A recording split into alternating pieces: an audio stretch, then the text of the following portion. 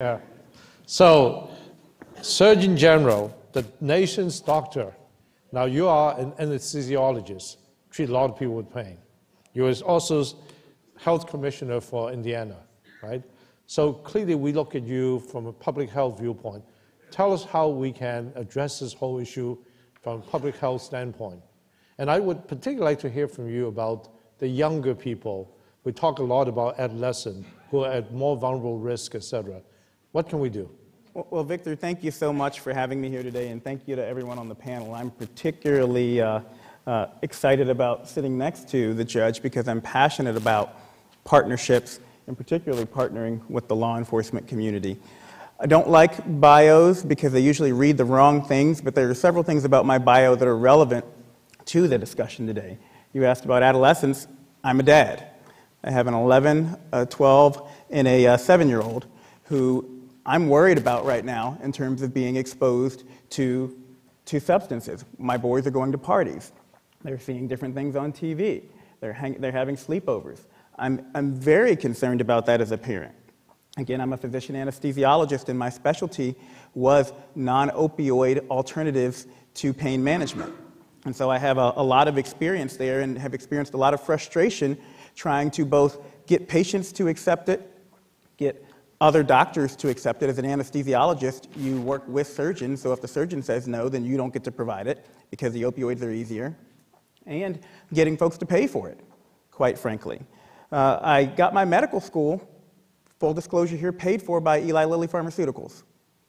Uh, and so, as much as we want to demonize the pharmaceutical industry, I might not be sitting here on this stage right now if it weren't for the pharmaceutical industry. And so th- these are complex issues where we've got to figure out how we can partner with folks and not necessarily point the finger, but, but accept the blame where, where it lies. There's plenty of blame going around. Figure out how we can engage folks as partners. I was the pharmacy and therapeutics chair at our local county hospital. And we again had to decide whether or not we pay for the more expensive abuse deterrent form from a limited pie that we had to provide care to folks, or do we pay for the cheaper alternative? I'm a professor of anesthesia at Indiana University, and as you mentioned, Governor, we've got a lot of work to do in terms of educating our health professionals. Uh, they are not getting the education that they need and they deserve to respond to this, this epidemic. You mentioned uh, being health commissioner of Indiana. Most of the folks in this room probably are aware. I was at the helm uh, when we had to deal with the largest HIV outbreak in U.S. history related to injection drug use, and it was all due to the drug Opana. And thank you very much for inviting me to testify at the FDA so that we had an opportunity to, to shine a light on that issue. Town of 4,000 people, uh, where, uh, where they'd never had more than three HIV cases in a year in the previous 10 years, now up to over 220 HIV cases in just two years related to injection drug use. So big challenges there. And then the final thing I'd mention is, uh, is that I've dealt with addiction. I have a brother right now, and some of you have heard this, I've said it in, uh, during, uh, during Senate testimony, who's in prison right now because he has untreated mental health problems, which turned into untreated substance use disorder, which turned into a prison sentence. And that scares the heck out of me because, as was mentioned, we don't know who's most at risk. I'm worried about my kids and their genetic makeup and whether they inherited something that's going to make them predisposed to being the one who becomes addicted when my son who plays soccer sprains his knee and gets prescribed an opioid. And, and again, we don't know who's going to be the one who, after that one pill, is at risk versus the ones who aren't.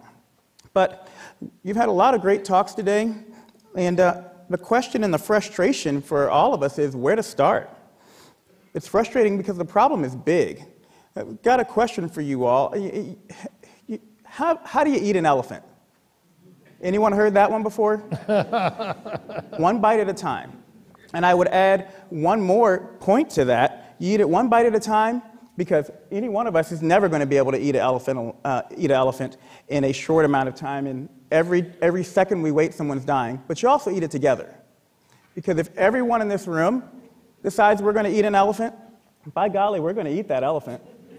But if one of us tries to eat it alone, it's going to be a daunting task and we're never going to get it done. So we've got to do a better job of identifying where we and others can take a bite of that elephant. We've got to do a better job of it, helping folks understand where to start and where each of them can fit in, whether you're the pharmaceutical industry, whether you're doctors, whether you're patients, whether you're policymakers like the governor, whether you're the FDA commissioner or whomever. What's your bite of the elephant? And we had a lot of talk about science, so I'm not going to talk about science today. Uh, I'm going to talk about communication. The majority of problems in, in our workplace, in our life, and wherever we're talking about come down to communication issues. And we in the health and medical communi- uh, communities are doing a very poor job of communication, an abysmal job of communication. If prevention and good health are the product we're selling, we are not doing a good job of getting folks to buy it. Overwhelming evidence there. In the medical and health communities, we can be pretty arrogant. We think we've got the research, the science, the moral high ground, and we just try to hit people over the head with it over and over and over again and expect them to to, to finally listen to us. And you've got two policymakers up here that I hope you'll engage and ask them how that goes, particularly in Kansas, particularly in Indiana and the Midwest. Uh, we've got to do a better job of really identifying our target audience voters, policymakers, folks in the law enforcement system who are the more common touch points than actually the medical community, identifying what motivates them, and speaking, to them in a, into, speaking to them in a way that engages them and enables them as partners. I'll quickly finish with, with my thoughts about where I want to take the Office of the Surgeon General in regards to the opioid epidemic. I've got three larger thematic priorities and then three more tangible areas of focus. Number one is better education, and you've heard many folks talk about that across the spectrum. Folks in the community, children, teachers, law enforcement, providers, pharmaceutical companies, policymakers. There's so much we can do on education, and I challenge each one of you to figure out how you can become better educated as an individual and which group you can do a better job of educating. Number two, better adoption of evidence based practices. Because we know that with the right help, recovery is possible, with the right help. But we aren't doing a good enough job of, of making sure we're, we're researching, identifying, and promoting those evidence based practices that have been proven to work. And then number three, better partnerships. My motto as Surgeon General is better partnerships um, for better health. And you brought up the point that it's odd for you to be up here. That's a problem. That is a problem. You, you said it better than I ever could have, and I, I frequently say this. The number one touch point for people with addiction is not a physician. So we talk about a public health approach. Well, the number one touch point isn't a public health touch point. It isn't a medical touch point. It is the law enforcement community. And we are not going to solve this problem unless we engage the public safety community. This room should be half full of people from the law enforcement community if we really want to tackle this issue. We've got to engage non traditional partners. Uh, another important partner is the business community. And so, my areas of focus, and then I'll finish. Number one, neonatal abstinence syndrome. We aren't doing enough in, in that area because there's evidence out there if, if a hospital simply has a standardized policy for how they're going to treat neonatal abstinence syndrome, doesn't matter which policy you pick, if you actually just have a standardized policy, the research shows that you can, you can cut NICU stays in half. So, why doesn't every hospital out there have a standardized NAS policy? And there's a whole spectrum that we need to, we need to expand our, thoughts about NAS, not just to the, to the infant with NAS, but how can we prevent NAS? How can we identify the mothers who are at risk? How can we treat NAS better? And then what are the long term sequelae of folks who have been identified with NAS and then discharged?